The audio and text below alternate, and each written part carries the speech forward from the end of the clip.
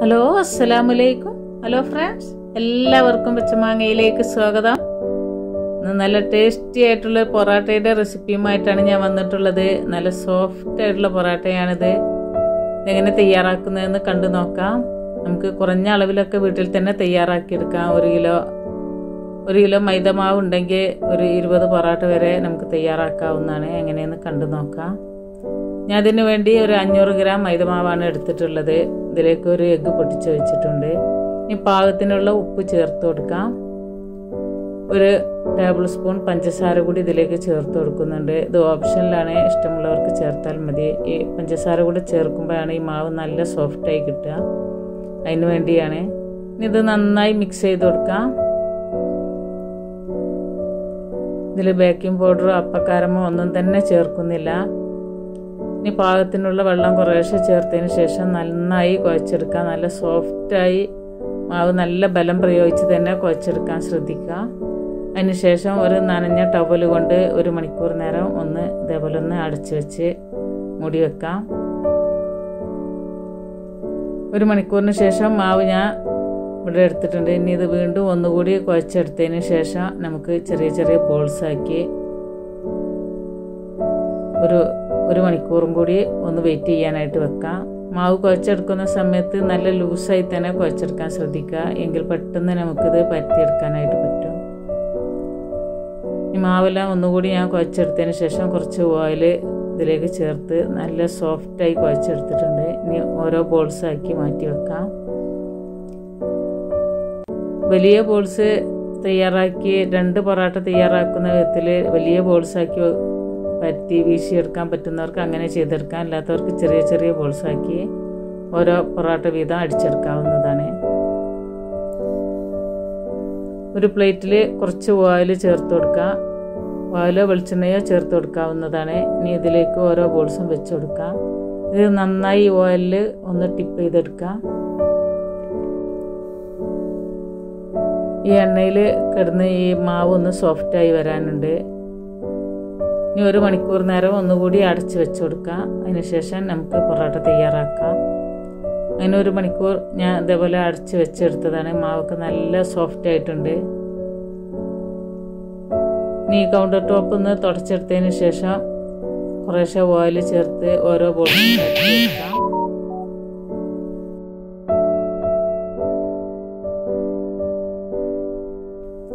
കൈവെള്ളം വെച്ച് നന്നായി പരത്തിയെടുക്കുക അതിനുശേഷം വീശിയെടുക്കാം. പൊറോട്ട വീശിയെടുക്കുന്നതിന്റെ റെസിപ്പിയൊക്കെ ഞാൻ കുറേ മുമ്പ് അപ്ലോഡ് ചെയ്തതാണ്. അപ്പോൾ നിങ്ങൾ അറിയാത്തവരൊക്കെ ആ വീഡിയോ ഒന്ന് കണ്ടു നോക്കാം. ഇതേപോലെ രണ്ട് വലത് കൈന്റെ വിരൽ ഈ മാവിന്റെ മുകളിലായും അതേപോലെ ഇടത് കൈന്റെ വിരൽ മാവിന്റെ അടിയിലായും പിടിച്ചതിന് ശേഷം നന്നായി വീശിയെടുക്കുക അവിടെ വീശിയെടുത്തിട്ടുണ്ട് ഇനി ഇത് കത്തി വെച്ച് നന്നായി ഒന്ന് വരഞ്ഞെടുക്കാം.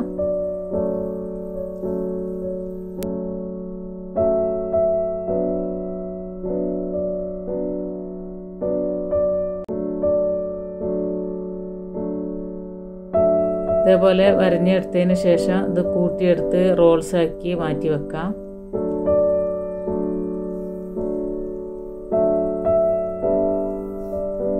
ഇങ്ങനെ നമ്മൾ വരഞ്ഞെടുക്കുമ്പോൾ നല്ല ലെയർ ലെയറായിട്ടുള്ള പൊറോട്ട തയ്യാറാക്കി എടുക്കാനായിട്ട് പറ്റും.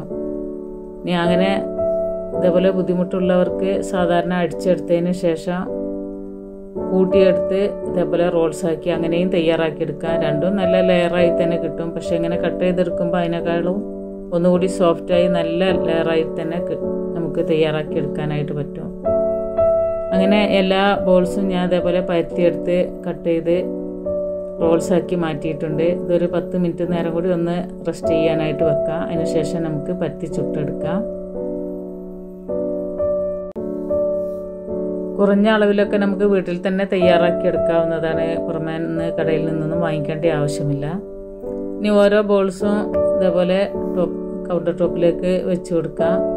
കൈവെള്ളം വെച്ച് നന്നായി പരത്തിയെടുക്കാം. ഇത് നല്ല സോഫ്റ്റ് ആയിട്ടുള്ള മാവായതുകൊണ്ട് തന്നെ കൈകൊണ്ട് പരത്തിയെടുക്കാവുന്നതാണ്. ഇനി കൊയൽ വെച്ച് പരത്തിയെടുക്കുന്നവർക്ക് അങ്ങനെയും പരത്തിയെടുക്കാം. ഓരോ പൊറോട്ടയുടെ വലുപ്പത്തിൽ പരത്തിയെടുക്കാം. കൈവെള്ള വെച്ച് വേണം പരത്തിയെടുക്കാനായിട്ട്. നമ്മൾ വിരൽ വെച്ച് പരത്തിയെടുക്കുന്ന സമയത്ത് വിരലിന്റെ അടയാളം ഈ മാവിൽ പതിഞ്ഞിരിക്കും. അതുകൊണ്ട് കൈവെള്ളം വെച്ച് തന്നെ നന്നായി പരത്തിയെടുക്കുക ഇനി പൊറോട്ട ചുട്ടെടുക്കാൻ കല്ല് ചൂടാക്കാനായിട്ട് ഞാൻ വെച്ചിട്ടുണ്ട്. കല്ല് നന്നായി ചൂടായതിന് ശേഷം കുറച്ച് എണ്ണ തൂവി കൊടുക്കുക അതിന് ശേഷം പൊറോട്ട വെച്ച് കൊടുക്കുക ഈ മ ഈ പൊറോട്ടയുടെ മുകളിലും കുറച്ച് ഓയിൽ തൂവി കൊടുക്കുക അതിന് ശേഷം ഇത് തിരിച്ചിട്ട് കൊടുക്കുക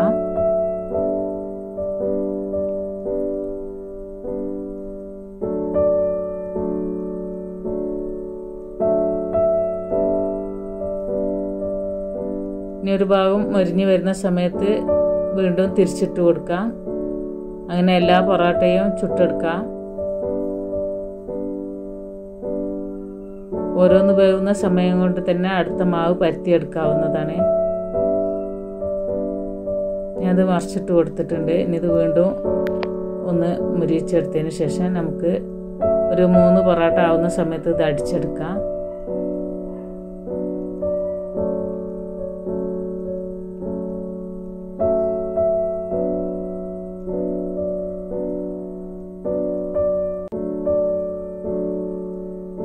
അങ്ങനെ ഒന്നുകൂടി തിരിച്ചിട്ട് കൊടുത്ത് രണ്ട് ഭാഗവും നന്നായി മുരിഞ്ഞ് വന്നതിന് ശേഷം നമുക്കിത് പ്ലേറ്റിലേക്ക് മാറ്റി കൊടുക്കാം.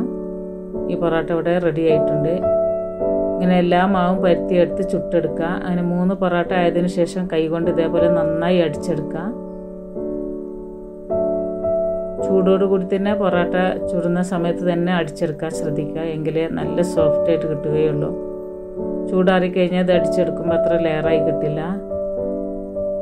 അങ്ങനെ നല്ല ലെയറായിട്ടുള്ള സോഫ്റ്റ് പൊറോട്ട നല്ല ടേസ്റ്റി ആയിട്ടുള്ള പൊറോട്ടയാണ്. നിങ്ങൾ അറിയാത്തവരൊക്കെ ഇതേപോലെ ഒന്ന് തയ്യാറാക്കി നോക്കാം.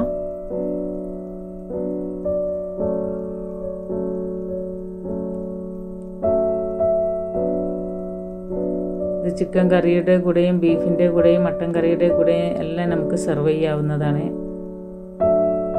അങ്ങനെ ഈ നല്ല സോഫ്റ്റ് ആയിട്ടുള്ള പൊറാട്ടയുടെ റെസിപ്പി നിങ്ങൾക്ക് ഇഷ്ടപ്പെടുകയാണെങ്കിൽ ലൈക്ക് ചെയ്യുക കമന്റ് ചെയ്യുക സബ്സ്ക്രൈബ് ചെയ്യുക നിങ്ങളുടെ ഫ്രണ്ട്സിനോ റിലേറ്റീവ്സിനൊക്കെ ഒന്ന് ഷെയർ ചെയ്ത് കൊടുക്കുക. അങ്ങനെ എല്ലാ പൊറാട്ടയും ഞാൻ ഇവിടെ ചുട്ടെടുത്തിട്ടുണ്ട്. ഇൻഷാല്ല അടുത്ത നല്ലൊരു വീഡിയോയുമായി വരുന്നവരെ അസ്സലാമലൈക്കും ഓക്കെ താങ്ക്സ്